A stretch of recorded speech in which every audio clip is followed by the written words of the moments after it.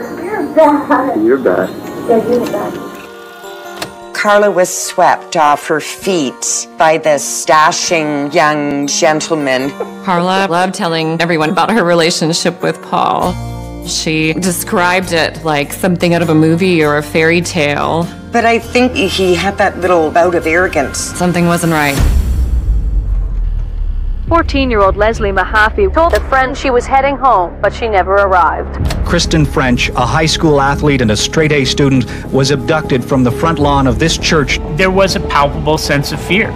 The rapist has terrorized women all in the same general area. Everything can be done is being done. And we'll get you back. Kristen was found not far from the edge of the roadway. The entire city was in horror. Some of the most heinous crimes ever in the country. Karla Homolka goes to the police. It's clear she was abused.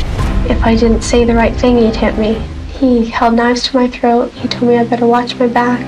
Karla tells the police that her husband is actually the murderer of both Leslie Mahaffy and Kristen French. She explains to the police that Paul was stalking young women at night, driving around looking for potential victims. He would rip hair out and collect that as souvenirs.